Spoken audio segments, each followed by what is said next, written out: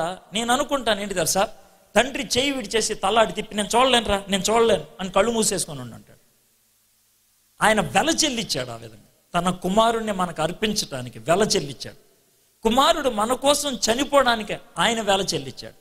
ఇంత గొప్ప వెల చెల్లించడం బట్టి ఆ ప్రేమతో మనకు ఒక బహుమానం వచ్చింది. ఏంటి ఆ బహుమానం అంటారేమో? నిత్యజీవం. నిత్యజీవం. బహుమానం నిత్యజీవం నిత్యం బహుమానంగా రావటం అంటే ఏంటో? ఓ చిన్న సంఘటన చెప్తాను మీకు అర్థమవుతుంది ఇరియాన్ జయ అని ఒక దీవం ఉన్నది ఇరియాన్ జయ ఆస్ట్రేలియాకిను ఇండోనేషియాకి మధ్యన ఉంటుంది ఈ ఇరియాన్ జయ అనే దీవి. ఆ దీవిలో రెండు జాతులు వాళ్ళు జీవిస్తూ ఉంటారు అడవి జాతులు వాళ్ళు. వాళ్ళు కొట్టుకుంటే చచ్చిపోతూ ఉండేవాళ్ళు ఒకళ్ళిద్దరు. అయితే వాళ్ళు చచ్చిపోతే ఏం చేసేవాళ్ళు అంటే మనకులాగా కప్పెడతాం కానీ మనకులాగా కాల్చేయటం కానీ చేయరు. ఎవరన్నా చచ్చిపోతే కనుక ఆ శవం చుట్టూ ఓ పది మంది కూర్చొని గబగబా వాళ్ళు ముక్కలు చేసుకొని వాళ్ళు తినేస్తారు. అది వాళ్ళు చేసేటువంటి పని. నరమాంస భక్షకులు అనమాట అయితే బతుకున్న వాళ్ళని వాళ్ళు చంపుకు తినరు. చచ్చిపోయినోడు ఎవడైనా కనబడితే వాళ్ళని తినేస్తారు అనమాట అయితే అలాంటి వాళ్ళ మధ్యకి ఒక ఆయన మిషనరీగా వెళ్ళాడు. ఏసఐ గురించి చెప్తామని అతని పేరు డాన్ రిచర్డ్సన్. వెళ్ళాడు. వెళ్ళి ఏసఐ గురించి చెప్తా ఉన్నాడు మొత్తానికి ప్రేమను పొందాడు. డాక్టర్గా వాళ్ళ కట్లు కట్టి వాళ్ళ నమ్మకాన్ని పొందాడు. ఆ, ఏసఐ గురించి చెప్తా ఉన్నాడు. అయితే ఒక సారీ ఏసే గురించి చెప్తూ చెప్తూ ఇస్కరియోత్ యోధ గురించి చెప్పాడు. ఎంత మోసగాడో చూసారా? మూడున్నర సంవత్సరాలు ఏసేతోనే ఉండి ఆయన ముప్పై రూపాయలకి అమ్మేశాడు అని చెప్తా ఉంటే అందరూ లేచిపోయి ఓ ఓ ఓ అని అరుస్తూ ఉంటారు. ఏమైందిరా ఎందుకు అరుస్తున్నారు అంటే అంటారు. సార్ మా మా సంస్కృతిలో ఎవడైతే మోసం చేస్తాడో ఆడే దేవుడు. ఎవడైతే మోసం చేస్తాడో ఆడే గొప్పడు.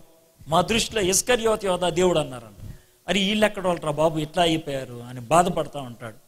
ప్రార్థన చేస్తాడు. ప్రభా నేను నీ గురించి చెప్దామని వచ్చాను. ఇస్కరియోత్ యోధ పాపులర్ అయిపోయాడు ఇక్కడ అని బాధపడతా ఉంటాడు. అయితే ఆ తర్వాత మూడు రోజులు కూడా బాగా యుద్ధం జరుగుద్ది. ఒక ముప్పై మంది దాకా చచ్చిపోతారు. బాగా ఏడుస్తూ ప్రార్థన చేస్తే నాలుగో రోజు యుద్ధం ఆగిపోద్ది. కానీ ఆ రోజు ఒక విచిత్రమైన సన్నివేశం జరిగింది. ఏంటనంటే రెండు వర్గాల వాళ్ళు ఎదురు బదురు నుంచున్నారంట. ఎలాగా? వరుసగా. ఇటో పాతిక మంది అటో పాతిక మంది. ఇప్పుడు వీళ్ళు ఏం చేస్తారు? ఒకళ్ళొకరు కొట్టేసుకుంటారు అనుకుంటున్నాడంట డాన్ రిచర్డ్సన్ భయం భయంగా. మూలలో ఒక అమ్మాయి ఒక ఆరు నెలల పాపను బాబుని పట్టుకొని కూర్చొని ఉందంట ఒక అతను వెళ్ళి ఆ బాబుని తీసుకొని బలవంతంగా వచ్చేసాడంట. ఆవిడేమో గట్టిగా ఏడుస్తుందంట. ఈ వర్గానికి నాయకుడు రెండు అడుగులు ముందుకు వచ్చాడంట ముందుకు రాగానే వాడి చేతిలో ఆ బాబుని పెట్టారంట. పెడితే డాన్ రిచర్డ్సన్కి భయం వేసిందంట. అమ్మాయి ఎందుకు అడుస్తుంది ఈ బాబుని పిసికి చంపేస్తారు ఎప్పుడు అని అనుకుంటా ఉన్నాడంట. అలాగా పైకి ఎత్తారంట. ఆరు నెలల బాబుని ఇతను ఎత్తాడంట. అందరూ అరుస్తా ఉన్నాడంట. ఇప్పుడు అనుకున్నాడంట నాకు తెలుసు వీళ్ళు ఖచ్చితంగా నేలకేసి కొదేసి కొట్టేసి అని చంపేస్తారనేసి. ఇలాగా అనుకుంటా ఉంటే ఎదుట అవతల నుంచి నాయకుడు ముందుకు నడుచుకొచ్చాడంట. వాడి చేతుల్లో పెట్టాడంట. Don Richardson ఇప్పుడేమవుద్ది అనుకున్నాడంట.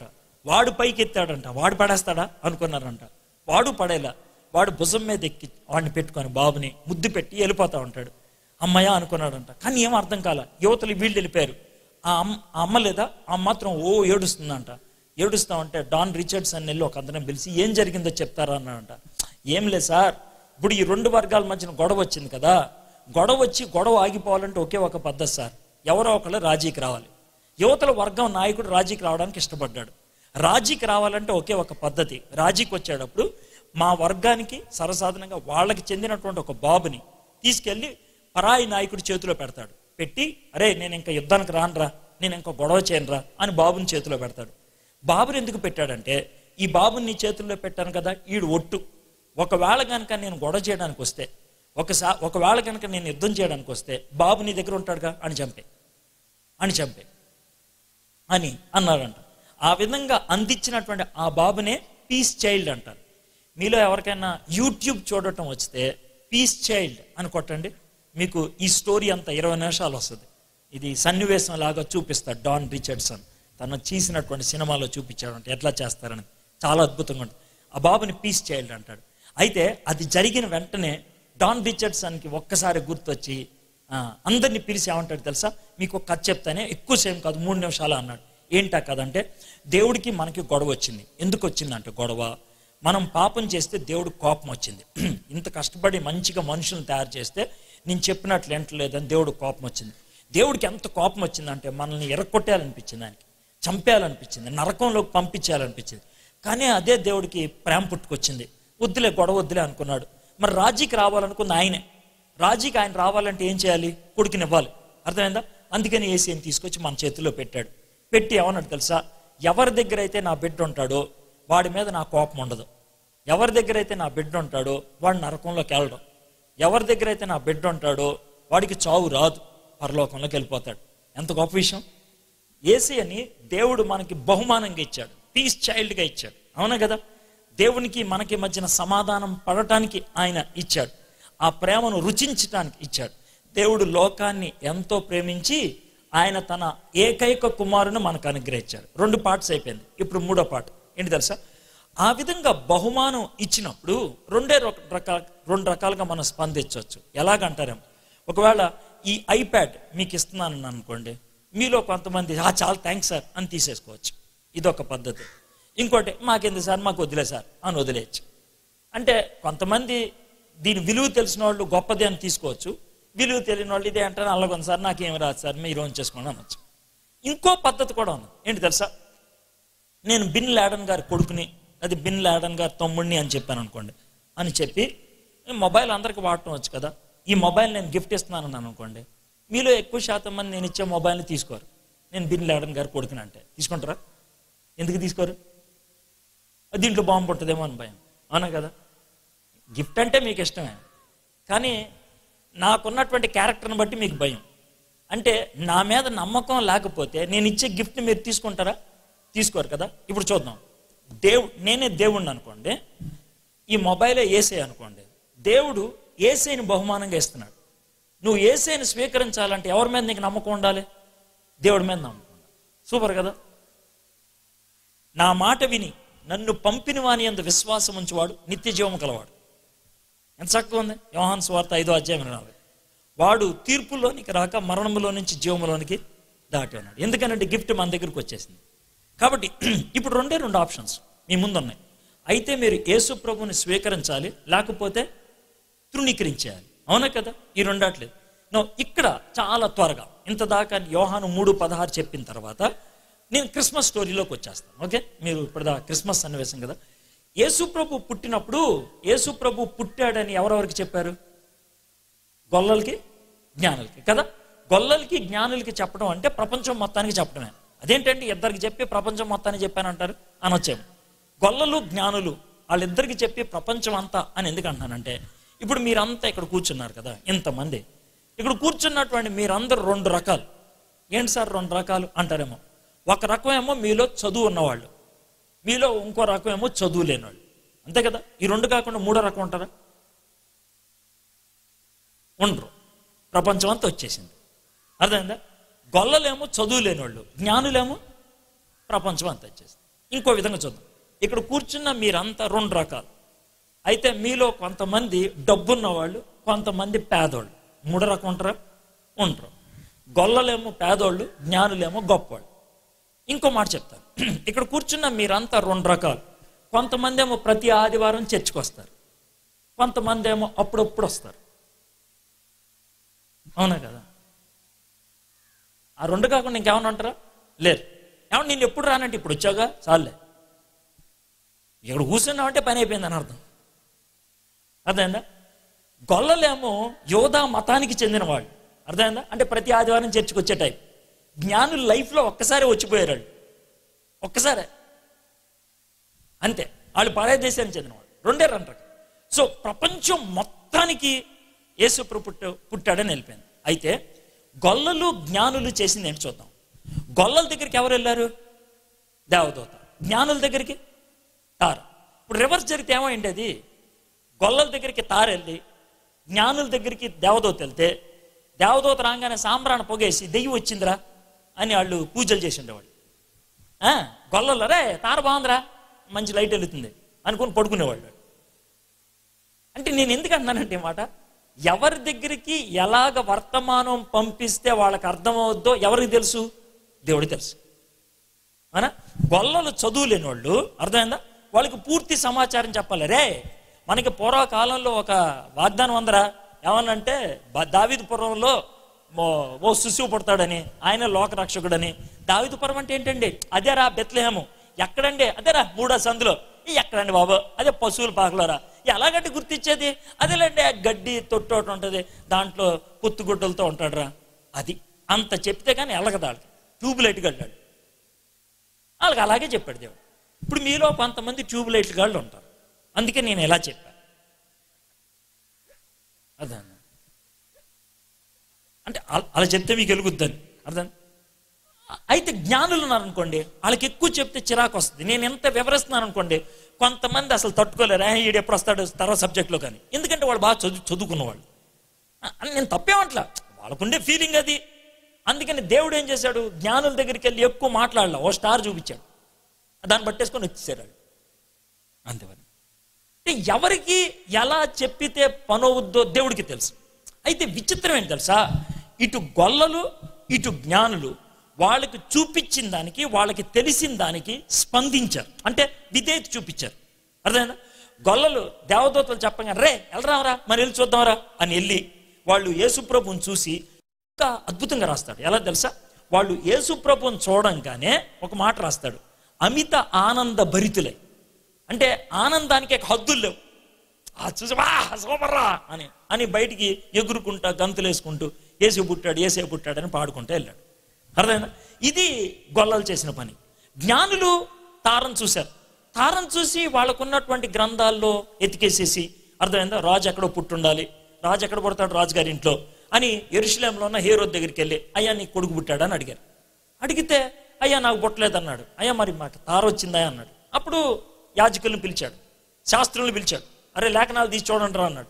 వాళ్ళు గబగబా తీసేసి ఏమంటే బెత్లహేంలో ఎఫ్రతా ప్రాంతంలో బెత్లహేంలో ఐదు వందల సంవత్సరాల క్రితం మేకా అనే ప్రవక్త మనకి ఒక ప్రవచనం ఇచ్చాడు అని అన్నాడు.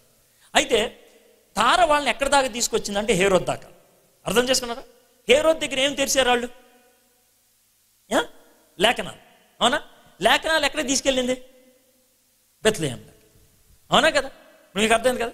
ఇప్పుడు చూడండి. ఇక్కడ మీకు ఒక ప్రాముఖ్యమైన పాట నేర్పించాలి. ఏంటంటే జ్ఞానులకి దేవుణ్ణి గురించి ప్రత్యక్షత ఒకసారి రాల. రెండు దఫాలకు వచ్చింది. ముందు సూచన అది తార. తర్వాత ఏంటి? లేఖనం. ఇప్పుడు క్రైస్తవేతరులు ఉంటారు. అంటే యేసు ప్రభు మీద పూర్తి నమ్మకం లేని వాళ్ళు ఉంటారు. నమ్మకం కుదరాలంటే వాళ్ళు రుజువులు అడుగుతారు. అరే ఇడు జ్వరం తగ్గితే వచ్చినట్రా? ఇడి కాలు వస్తే వచ్చినట్రా? ఇడి కళ్ళు వస్తే వచ్చినట్రా? అంటారు. అది సూచన. దేవుడు అలాంటి అద్భుతాలు చేస్తాడు. నేను చేయడం అట్లా చేస్తాడు. అయితే అద్భుతం చేయంగానే మీరేం చేయాలి? తారం చూడంగానే వీళ్ళు ఎక్కడికి వచ్చారు? హేరోద్ దగ్గరికి. హేరోద్ దగ్గర ఏం చేసారు వాళ్ళు? వాక్యం తీశారు. అవునా కదా? అయితే మనలో చాలామంది చేసే తప్పు ఏంటనంటే ఒక అద్భుతం అవ్వంగానే మనం లేఖనం దగ్గరికి రాం. ఇంకో అద్భుతం కావాలి. ఇంకో అద్భుతం కావాలి. ఇంకో అద్భుతం కావాలి. అందుకని అద్భుత మహాసభలను బోల్డ్ మంది వెళ్ళిపోతారు. వాక్యం చెప్తా అంటే ఎవడే ఉండవు ఇక్కడికి ఎవరైనా స్వస్థత వరం అన్నవాడు వచ్చాడు అనుకో ఈ టెంట్ సరిపోదు. వాక్యం చెప్తానంటే ఎవరు వస్తారు? మా తెలిసిన మేము చదువుకుంటాలే అంటారు. అయితే ఒక విషయం చెప్తాను. గుర్తుపెట్టుకోండి సూచనలకి నిత్యత్వం లేదు. అద్భుతాలు ఎప్పుడూ ఉండవు. కానీ ఎప్పుడు ఉండేది ఏంటి తెలుసా? వాక్యం. స్థిరమైంది వాక్యం. జీవితాన్ని స్థిరపరిచేది వాక్యం. దేవుడు ప్రేమతో మనకిచ్చింది వాక్యం. దేవుడు ప్రేమతో కొడుకునిచ్చాడు. దేవుడు ప్రేమతో వాక్యాన్ని ఇచ్చాడు దేవుడు ప్రేమతో పరిశుద్ధాత్ముని ఇచ్చాడు మూడు ఎస్సలు అంటారు ఇంగ్లీష్లో. ఫస్ట్ స్క్రిప్చర్ ఇచ్చాడంట. తర్వాత సన్నుని ఇచ్చాడంట తర్వాత స్పిరిట్ని ఇచ్చాడంట ఈ మూడు. ఈ మూడు నేరుగా సోల్లోకి వెళ్తాయి. ఆత్మలోకి వెళ్తాయి. దేవుడు ఆత్మలోకి వెళ్తాడు కుమారుడు. వాక్యం ఆత్మకు తెప్పరిల్లా చేస్తుంది. పరిశుద్ధాత్ముడు ఆత్మలో నింపుదల కలిగిస్తాడు. అయితే మనం శరీరాన్ని నింపుకుంటాం. శరీరం నింపుకోవాలి. కానీ అది పరిపూర్ణత ఇవ్వలేదు ఆత్మ. ఆత్మలోకి ఈ మూడే. ఆ మూడు మనకు కావాలి. దేవుడిచ్చాడు. సో వీళ్ళు దేవుణ్ణి ఏసైని చూశారు. చూసి వాళ్ళు రాత్రి వెనక్కి వెళ్ళిపోదాం అనుకున్నారు. తెల్లారుజాము రాత్రి కల్లో ఏసై కనబడ్డాడు. లేకపోతే దేవుడు కనబడ్డాడు. కనబడి ఏమన్నాడు తెలుసా? బాబు మీరు వచ్చిన రూట్లో వెళ్ళండి వేరే రూట్లో వెళ్ళండి అన్నాడు. ఏ అన్నాడు. అంటే మీరు వచ్చిన రూట్లో వెళ్తే హేరోదికి చెప్పాల్సి వస్తుంది హేరోదికి చెప్తే కనుక గొడవలు అవుతాయి అన్నాడు. అందుకని వేరే రూట్లో వెళ్ళిపోయారు. గొల్లలు వెళ్ళేటప్పుడు వాక్కుంటూ వెళ్ళారు. గొల్లలు వెళ్ళేటప్పుడు వాగుతూ వెళ్ళారు. జ్ఞానులు వెళ్ళేటప్పుడు నోరు మూసుకొని వెళ్ళారు. గొల్లలు వాగటానికి పంపించాడు. జ్ఞానులు నోరు మూసుకొని వెళ్ళమన్నాడు. అవునా కదా? నేను కొత్తగా చెప్పిందా? అంటే దేవుని దగ్గరికి వస్తే నువ్వు వాగాలా నోరు మూసుకోవాలా? ఆయన చెప్తాడు. ఆయన చెప్తాడు. ఇంకో మాట చెప్తాం. మనలో కొంతమందికి ఈ అనుమానం ఉంటుంది. సార్ నేను ఏసీ దగ్గరికి వచ్చాను అనుకో తర్వాత ఎలాగ సార్? జ్ఞానులు ఏసీ దగ్గరికి వచ్చారు. తర్వాత ఎలాగా? మార్గం ఎవరు చెప్పారు? దేవుడు చెప్పాడు. అరే ఈ రూట్లో వెళ్ళంటారా అని. మీకు మాట చెప్పమంటారా? దేవుడికి నీ జీవితాన్ని సమర్పిస్తే రూట్ ఆయన గీసిస్తాడు. ఆయన రూట్ గీసిస్తాడు. ఆయన గీసిచ్చిన రూట్లో వెళ్ళిపోవాలి. నువ్వు ఎట్లా వెళ్ళమంటే అటు వెళ్తావు. ఎంత స్పష్టంగా ఉంది చూడండి క్రిస్మస్ సందర్భం. క్లియర్గా ఉందా లేదా? ఎందుకంటే ఎవడన్నా క్లియర్గా చెప్తాడా? ఇది అర్థం కాదు అని అంటే ఎవడన్నా నాతో పర్సనల్ కలవండి. ఈ దూలానికి వేసి కట్టేసి గుండు సూదులు పెట్టి పొడిచి చంపుతా. ఇది కూడా అర్థం కాకపోతే ఇంకెవడేం చేస్తాడు? గుండు సూదులు పెట్టి అంటారేమో ఒక్కసారి చంపితే నాకు తృప్తి ఉండదు. అందుకని కొంచెం ఎక్కువ బాధపడాలి. అయితే కొంతమంది ఉంటారు అర్థం కానివాళ్ళు వాళ్ళు ఎవరంటే వాళ్ళు కూడా క్రిస్మస్లో కనబడతారు. యేసు ప్రభు పుట్టాడు అనే విషయం గొల్లలకి జ్ఞానులకే కాదు ఇంకా ముగ్గురికి తెలిసింది. వాళ్ళు ఏం చేశారు చూద్దాం. యేసు ప్రభు ఏ సత్రంలో పుట్టాడో ఆ సత్రపు యజమాని యజమానికి తెలుసా? తెలుసు. ఎందుకంటే రోజు జనాలు వచ్చిపోతా ఉన్నారు వెళ్ళేటప్పుడు పాడుకుంటూ వెళ్తున్నారు గొల్లలు కూడా చెప్పుకుని ఉంటారు. ఎంత హడావిడి చేసినా లోనికి వెళ్ళి ఈడు చూసాడా చూడలా. ఏ? వ్యాపారపు బిజీ. మనలో కొంతమందికి దేవుడు గుర్తురాడు. ఎందుకంటే బిజీగా ఉంటాం మన. పనుల్లో మనం బిజీ. తాగుళ్ళో బిజీ తిరుగుళ్ళో బిజీ వ్యాపారాల్లో బిజీ హడావుల్లో బిజీ మనకున్న కార్యకలాపాల్లో బిజీ. ఆ బిజీలో యేసు ప్రభుని మర్చిపోతాం. నువ్వు ఇప్పుడు ఇవ్వాల్సిన టైం ఏసీకి ఇవ్వకపోతే తర్వాత నువ్వు ఏసే ఆ టైం ఇవ్వంటే నాకు టైం లేదురా అంటాడు ఆయన. అది విషయం. సత్రపు యజమాని వాళ్ళ ఇంట్లోనే పుట్టాడు ఏసే మీ ఇంట్లో ఐదుగురు ఉంటే ఇక్కడ కూర్చున్న వాళ్ళ గురించి ఆలోచిస్తున్నాను. మీ ఇంట్లో ఐదుగురు ఉంటే ఎనిమిది నుంచి తొమ్మిది బైబిళ్ళు దాకా ఉంటాయి. ఎన్ని బైబిళ్ళు ఉంటాయని కావు తెరిసావా లేదా అని. సార్ దిండి కింద పెట్టుకుంటాను సార్. స్కూటర్లో డిక్కీలో పెట్టుకుంటాను సార్. నువ్వు డిక్కీలో పెట్టుకున్నావా లేకపోతే తెల కింద పెట్టుకున్నావా అని కాదు బుర్రలోకి ఎక్కిందా లేదా అన్నది కావాలి. టైం ఇవ్వను. You don't give time okay రెండో వ్యక్తి ఎవరు తెలుసా? యాజకులు. శాస్త్రులు యాజకులు. యేసు ప్రభు బెత్లహంలో పుట్టాడు అని దారి చూపించిన వాళ్ళు ఆళ్ళే వీడు వెళ్ళాడా వెళ్ళలా ఎందుకు వెళ్ళలేదు తెలుసా? గర్వం. మేము పండితులం. మేము చాలా గొప్పవాళ్ళం. ఓ పసిపిల్లని చూడటం ఏంటి? ఆడు కూడా పశువుల బాధలో పుట్టాడు. అది కూడా పల్లెటూరులో పుట్టాడు. మేము వెళ్ళటం ఏంటి? గర్వం. కొంతమందికి క్యాస్ట్ ఫీలింగ్ ఉంటుంది. యేసు ప్రభు దగ్గర రారంటే ఏ మాలవాళ్ళు మాది కూడా దేవుడికి వచ్చేది ఏంట్రా? ఉండుండొచ్చు మీరు. బయటికి చెప్పకపోవచ్చు. క్యాస్ట్ ఫీలింగ్ గర్వం. అహంకారం. వాళ్ళు కూడా అదే చూపించారు అహంకారం గర్వం. పోయారు వాళ్ళు. లాగానే లేకుండా పోయారు. మూడవటి ఎవడ తెలుసా? హేరోది. హేరోదికి ఖచ్చితంగా యేసు ప్రభు అని తెలుసు. రాజులకు రాజు అని తెలుసు. రాజులకు రాజుగా ఆయన పెద్దోడైతే వీడి సీటు పోద్దని. వీడు రాజు కదా? వీడి సీటు పోద్దని. ఏసేం చంపేద్దాం అనుకున్నాడు. అదే ఆయన చేసిన పని. ఇప్పుడు మనోళ్ళు కొంతమంది ఏమంటారు తెలుసు? ఈ వాక్యం అంతా విన్న తర్వాత అంతా వినేస్తారు. వినేసి నేను ఒకవేళ సింగిల్గా దొరికాను అనుకో అన్నా ఇప్పుడు యేసుప్రభుని మీరు చెప్పినట్లు నేను అంగీకరిస్తానన్నా అయితే నాకు పాన్ గుట్క అలవాటు ఉంది. అది వేసుకోవచ్చా? దమ్ము కొట్టుతాను అప్పుడప్పుడు. మొదలు కొనసాగించచ్చా? వేస్తానన్న లైట్గా వేసుకోవచ్చా? మనకు రెండో సెటప్ ఉందన్న ఉంచుకోవచ్చా? ప్యాకెట్కి వెళ్తానన్నా ఏమో ఉండొచ్చా? ఇది మనం అడిగాం. మనం అడుగుతాం చాలా స్పష్టంగా. ఎందుకంటే దాన్ని వదులుకోలేక ఒకవేళ నాలంటే కుదరదురా అబ్బాయి అయితే యేసు ప్రభు అదో డిసైడ్ చేయంటే నూటి తొంభై శాతం మంది ఏమంటుందా సార్ దానికి పెద్ద నీతి కబుర్లు. ఏంటో సార్ నేను తాగేసిన తాగుడు మానేసిన దినాన్ని వస్తాను తెలుసా నేనా? తాగుడు మానేసిందని. నేను అందరిలా కాదు. ఓ పక్కన తాగుడు ఓ పక్కన చర్చి మనం కుదరదు. ఈ డైలాగ్ ఎప్పుడైనా అన్నారా? ఏరా డైలాగ్ నేను మానేసిన ఒక దినాన్ని ఆ దినం రాదు ఏడు దినం వస్తుంది ఆ దినం అది ఏడు దినం వస్తుంది కాబట్టి ఈ ఈ మధ్యాహ్నం మీకు చెప్పాను కదా గొల్లలు జ్ఞానులు విధేయత చూపించారు. అవునా? విధేయత చూపించి దేవుడు ఈ లోకంలో కుమారుని పంపించడానికి వెల చెల్లించాడు. యేసు ప్రభు మనల్ని రక్షించడానికి వెల చెల్లించాడు. గొల్లలు వాళ్ళ గొర్రెలను వదిలేసి వచ్చారు. అది వెల చెల్లించడం. జ్ఞానులు సుమారు నాలుగైదు నెలలు ప్రయాణం చేసి వచ్చారు. అది వెల చెల్లించడం. ఈ మధ్యాహ్నం నువ్వు వెల చెల్లించడానికి ఇష్టపడితే నీ జీవితంలో అతి విలువైన బహుమానాన్ని పొందుతావు. నిత్య జీవాన్ని. ఏంటి సార్ నేను వెల చెల్లించేదంటే? ఏం చెల్లించక్కర్లా. నీ హృదయాన్ని ఏసైకు. అంతే. మీ హృదయంలో రమ్మని అడుగుతారా? గొల్లలు జ్ఞానులు క్రిస్మస్ని ఆనందించారు. ఎందుకంటే మాటలు విని విధేయత చూపించారు. అవునా కదా? దేవదూతల మాటలు విన్నారు గొల్లలు. లేఖనాలు చదివారు జ్ఞానులు. వాటికి విధేయత చూపిస్తే ఏసే దగ్గరకు వచ్చారు. ఈరోజు మీకు లేఖనాలు చూపించా? మాటలు చెప్పా. దానికి విధేయత చూపిస్తే ఏసీ దగ్గరికి రండి. నా దగ్గర కాదు. ఏసీ దగ్గరికి వెళ్ళాం వెళ్తే మీకు నిజమైన క్రిస్మస్. శాస్త్రులకి హేరోదికి సత్రబేజమానికి తెలుసు.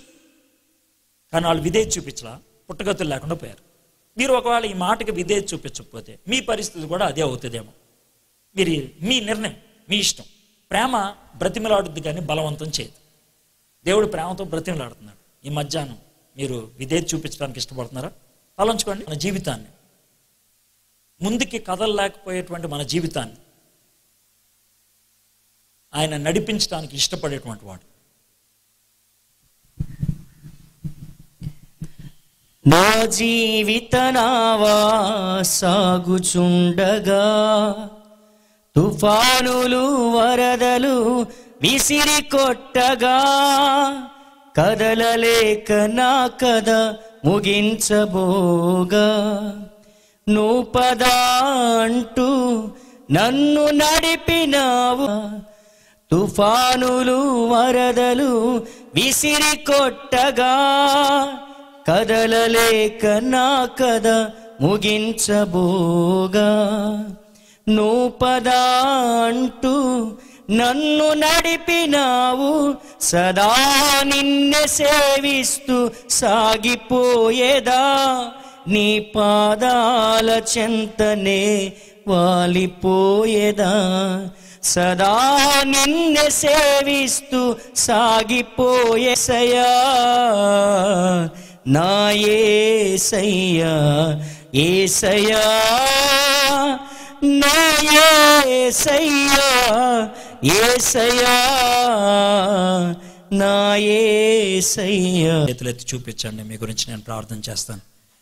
ఆగిపోయినటువంటి నా జీవితాన్ని నడిపించేసయ్యా. పాడైపోయినటువంటి నా జీవితాన్ని బాగు చేయేసయ్యా. కుళ్ళిపోయినటువంటి నా హృదయాన్ని మార్చు ప్రభా. నశించిపోతున్నటువంటి నన్ను వెతికి రక్షించు ప్రభా. మనస్ఫూర్తిగా అలాంటి కోరిక నీకు ఉన్నట్లయితే మీరు చేయెత్తి చూపించండి మీ గురించి ప్రార్థన చేస్తాను. ఎవరైతే చేయెత్తారో ఉన్న చోటన లేచి నిలబడతారా? చిన్నగా లేచి నిలబడతారా? వాళ్ళు మాత్రమే చేతులు దించేయని చేసుకుందాం. బైబిల్లో ఒక మాట ఉంది తెలుసా? మనం కనుక మన పాపాన్ని ఒప్పుకుంటే ఆయన నమ్మదగిన వాడు నీతిమంతుడు. మన పాపాలు క్షమించి సమస్త దుర్నీతి నుండి పవిత్రంగా చేస్తానని. బైబిల్లో ఇంకో మాట కూడా ఉంది. ఏమని తెలుసా? ఒక వ్యక్తి మనసులో విశ్వసించి నోటితో ఒప్పుకుంటే వాళ్ళు రక్షించబడతారంట. కాబట్టి ఎవరైతే ముందుకు